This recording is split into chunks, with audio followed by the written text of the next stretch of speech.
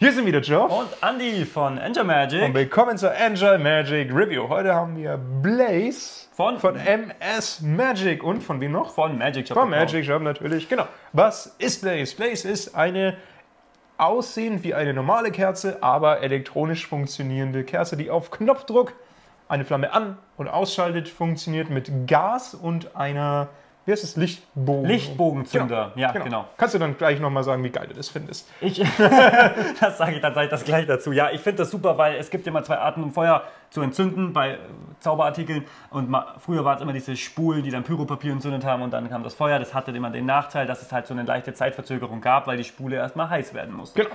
Und hier geht das halt wirklich ohne Verzögerung und das finde ich gut.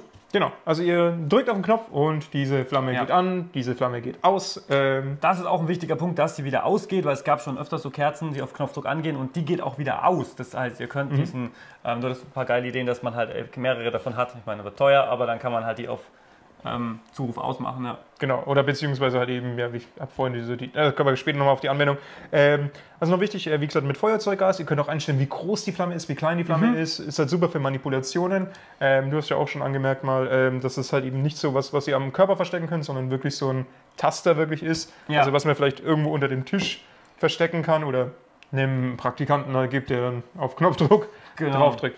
Genau, ähm, wir packen es jetzt halt eben nicht aus, weil, also wir sind beide der Meinung, dass es so auf kurze Distanz wie jetzt hier oder halt eben auch im Closer-Bereich ähm, zu sehen ist, dass es oben nicht gänzlich eine echte Kerze ist. Genau, es ist kein Doch, das sind, ja, ich glaube, sagen kann man schon Drähte quasi, die man sieht. Also der Zuschauer würde sehen, dass es keine normale Kerze ist. Aber dann das gleiche Gimmick dahinter vermutet, ist mal dahingestellt. Ja. Aber man sieht, dass es kein Docht ist, dass es eine spezielle Kerze ist. Und deswegen ordnen wir es auch ganz klar ein als Stage Prop. Weil Ja. auf der Bühne ist das überhaupt kein Problem. Im Close-Up-Bereich würde ich es nicht machen, muss ich ganz Ich finde es auch komisch, im Closer-Bereich zu den Leuten an den Tisch zu gehen mit einer Kerze. Ja, vor allem mit so einer großen Kerze. Genau, ne? hi, ich bin der Zauberer. Bäm, Alter, eher so ein automatisches Teelicht irgendwie, Ja, aber ja. keine Ahnung, ist was Ja, anderes. ja, ja, das wäre praktischer. Nee, aber Ja. ja. Äh, ja, wie gesagt, auf der Bühne kein Problem, auch insbesondere, wenn man das ein bisschen ausrichten kann. Ähm, hat natürlich schon was für sich, wenn man Harry Potter-mäßig äh, so seine Hand drüber wedelt und wieder zurück. Gibt ja diese eine Szene. Ich war schon öfters mal so der, der Fan davon, dass man so quasi als YouTube-Video äh, Harry Potter-Szene nachgestellt als Zauberer. Und dann wäre sowas mhm. perfekt. Ja, ja, so ja. quasi, wenn Dumbledore seine Hand drüber macht und wieder zurück. Ja. Es geht an und aus. Das hat schon was. Wer verkleidet sich als Dumbledore, ist die Frage. Wer hat den besseren Bart? Kein Problem. Okay, ähm, ja, das ist, das ist schon ein cooles Prop. Ich meine, optimal für den, der halt in seiner Bühnenshow irgendwas mit, mit Kerze, eine Kerze sucht, die er einsetzen kann, der wird hiermit absolut nicht enttäuscht werden, würde ich jetzt mal Ja gut, wir haben es jetzt vorhin auch gesagt, ähm, wir haben ein paar Magic Member oder zumindest Ein- einen, der, ein, der ja. in so einem Gruselkabinett ist. Da könnte man das auch im Closer-Bereich machen, wenn man quasi die Umgebung halt hat und außenrum stehen überall Kerzen und man macht äh, ja, Magicians-mäßig so, hey, such dir, zeig mal auf eine von den drei Kerzen und dann für eine und dann macht man die Kerze aus und wieder an. Ja. Was halt eben, ne, ihr wisst ja, was ich meine. Da, könnt, da könnte man auch sagen, gut, das ist im Close-Up-Bereich, aber groß gespielter Close-Up. Ja, nicht, nicht verifizierter, von, also von uns nicht verifizierter Vorschlag ähm, von Peter von Magic Shop. Er meinte, man könnte auch einen Docht hinbauen, damit es halt. Dann von hast du trotzdem die Drähte. Ja, deswegen nicht verifiziert. Wäre ein Bastelprojekt, ähm, wollen wir mal nicht garantieren. Nur als Gedankenanstoß, um es halt ein bisschen auf die Distanz ein bisschen zu verkürzen. Vielleicht mal. Die Kerze an sich, jetzt mit Ausnahme von dem Docht oben, wirkt aber wie eine normale Kerze. Die hat auch so was Ja. Mhm. Wachsartiges drauf und man könnte auch, wie, man, schon- wie schon gesagt wird, Ja. das Tutorial ist nicht lang, aber deswegen äh, so mit Wachs noch mal ein bisschen drüber machen, damit es nochmal wachsartiger aussieht. Ähm, ja, Genau, also das Tutorial das kann man, sind 15 Minuten, das geht nur um die Technik. Diese ganzen Routinen-Ideen, die kriegt er jetzt hier von uns dazu, aber da ist nichts dabei. Also Ja. es sind keine Routinen-Ideen oder irgendwas mit dabei. Ähm, genau, man könnte sie noch verbessern, dass die noch schöner aussieht, wenn man das möchte. Aber ich finde die von out, out of the box schon. Ja, wir, wir hatten, wir hatten Ja. vorhin auch noch die Diskussion wegen ähm, zum Beispiel, ob man Rex Ignis damit, wenn man wenn man es auf der Bühne macht und man könnte auch Mhm. Ja. Auf der Bühne auch jemanden beispielsweise die Augen verbinden. Das wäre so meine Idee sowieso gewesen mit Rex Ignis, dass man quasi dem Zuschauer die Augen verbindet und ihn dann quasi, er weiß nicht, dass er über einer Kerze ist, sodass er halt eben auch den Docht nicht sieht. So könnte man das trotzdem einbauen. Und dann hat es natürlich schon was, wenn du halt eben anstatt ähm, man kann natürlich, wegen wer Rex Ignis hat, ähm, trotzdem sagen, normalerweise machen wir das mit Streichhölzern, aber als Zauberer und man wäre trotzdem in diesem Setup drin. Die, die Rex Ignis haben, wissen, was ich meine. Ähm, und man wäre halt eben dann da drin. Und da hat es natürlich schon was Magisches, wenn man halt eben ja, auf, auf Kommando Ja, Eine Kerze an. Jetzt, jetzt fällt mir eine gute Intro-Idee. Wir hatten es vorhin in der Diskussion, ob das mit Invisible Touch zusammenpasst. Was ich cool finde, du hast diese Kerze an der einen Seite stehen, du hast die gleiche nochmal normal, die, ist, die brennt, die andere nicht. Und du nimmst die, die nicht brennt, pustest die, die nicht brennt, aus und trotzdem geht die andere aus. Weißt du, pustest an der so, einen ja. und die andere geht aus. Und dann machst du es mit Menschen, dass du den berührst und der spürt Ah, du, Ähm. ich wollte gerade sagen, bläst du den ein und dann. Äh, und der andere spürt's. Nein, oh Gott, oh Gott, das Nein, nein, nein.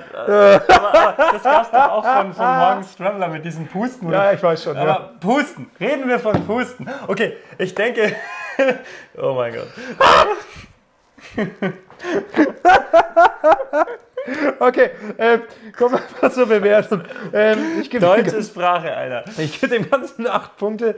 Ähm, ich finde es super, wenn wir irgendwann mal die Bühne ein bisschen mehr ausarbeitet, dann würde ich das ultra gerne machen. Ähm, Sie, sieben Punkte von mir, ich finde es geil, es hat aber Luft nach oben. Ich hätte mir gewünscht, dass es auch aus der Nähe besser zu sehen ist, also nicht zu nicht sehen zu sehen ist. Nicht zu sehen Ähm, ist, ja. schreibt uns doch mal in die Kommentare, welche Ideen ihr mit dem Effekt habt und welche Punkte ihr dem Ganzen geben würdet.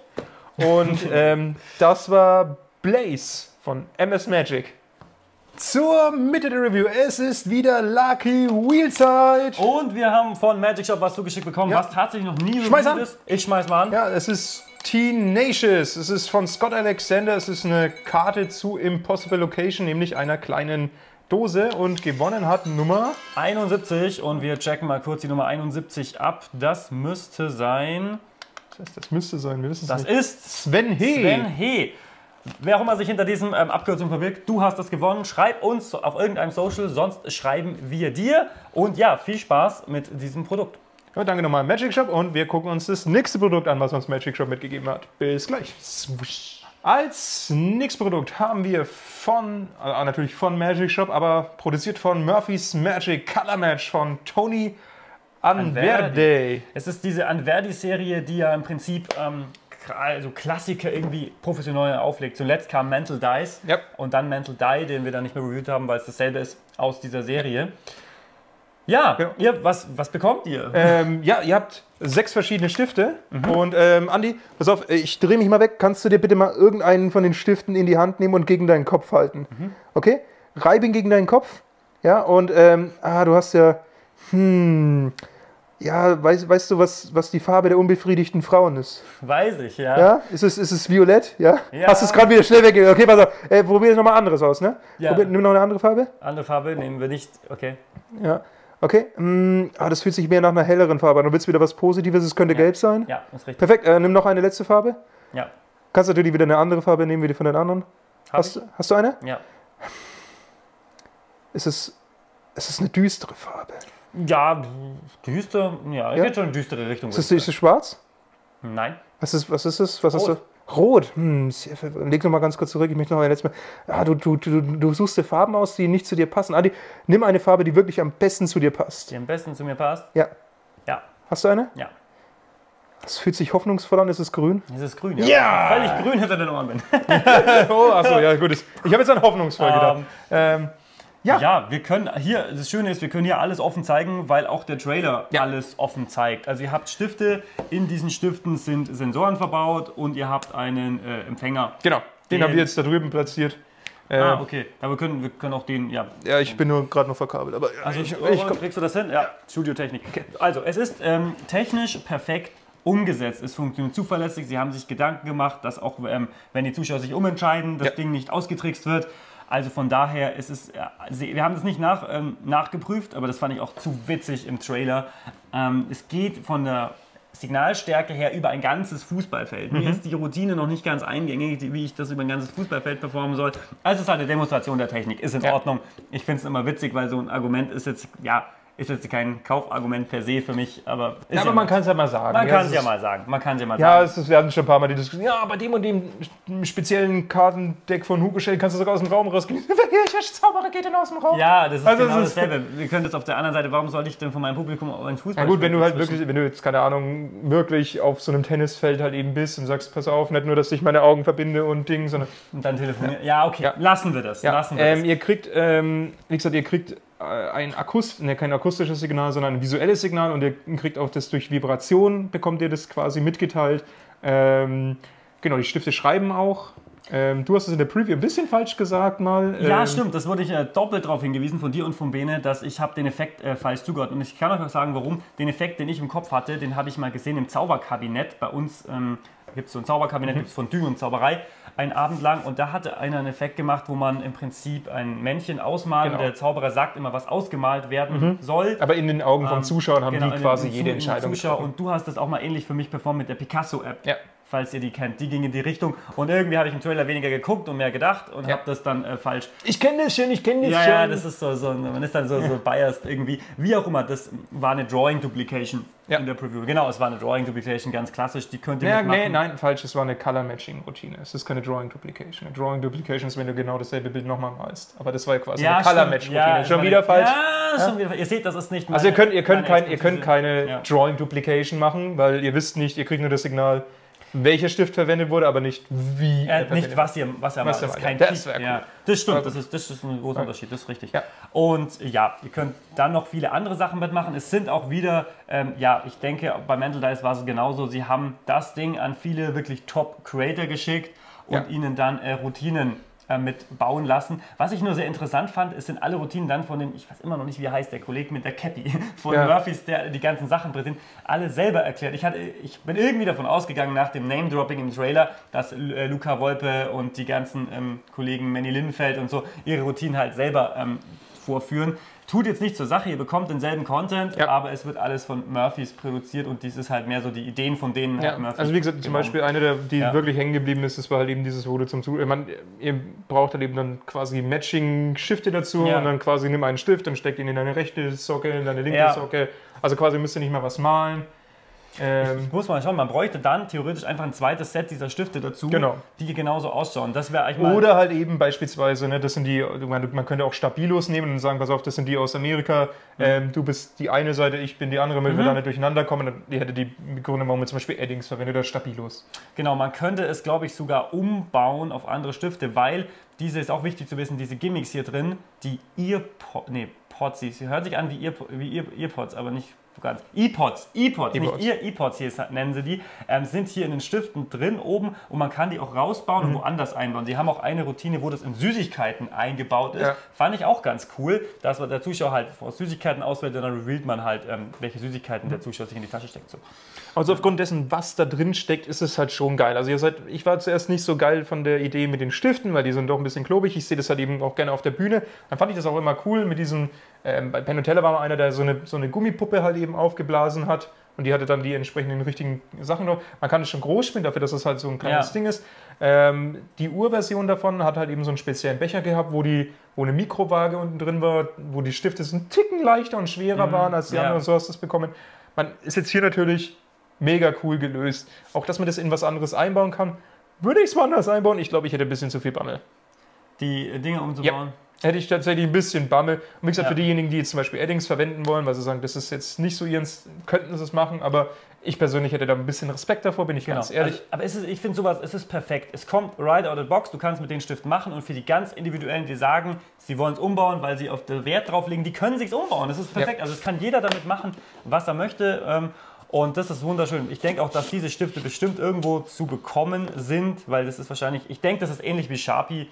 Ähm, das ist in Amerika wahrscheinlich so der übliche Stift. Das wäre eigentlich mal, könnte man mal bei Magic Shop fragen, ob die vielleicht das ähm, mit ins Programm nehmen können, ein Set dieser Ja. Stifte in normal. Das wäre eigentlich super sinnvoll. Dann könnte man das ganz einfach lösen, indem man sich die dazu kauft. Ich denke auch, ich werde auf der Messe, wir werden es auf eine Messe mitnehmen, diese Routine machen, wo man die Stifte überall reinsteckt. Das kann ich mir für eine Messe ganz gut vorstellen, weil diese nicht Drawing, diese Color Match Geschichte, ja, ist halt irgendwie recht, demonstriert es recht schön, aber naja. Mal schauen. Ganz schön, Das anstehen, ganz schön anstößige Folge. Ne? Vorher, Was? noch, vorher noch das Pusten, jetzt das irgendwo reinstecken. Ich weiß ja nicht, das ist so eine richtige Okay, Richtung. äh, Joe, du musst dir so ein FSK 18 Ding einbauen. Okay? Äh, Die das ist- Review ist jetzt leider nicht mehr, äh, nicht mehr jugendfrei. Weil ihr auch alles falsch versteht. Du machst ja auch. Ja, ich mache mir da keinen lassen Spaß. wir das, lassen wir das. Ey, man, man kann jetzt, ja, Ihr tut die Stifte in eure Taschen deponieren. Oh, das ist gut. Ja. Okay, ähm, von der Bewertung her, Andi. ich gebe dem 8 Punkte. Ich Acht find- Punkte nur? Ich finde es gut, ja. Äh, ich gebe ihm 8 Punkte. Ich werde es, denke ich, auf, ja, verwenden auf der Messe auf jeden Fall.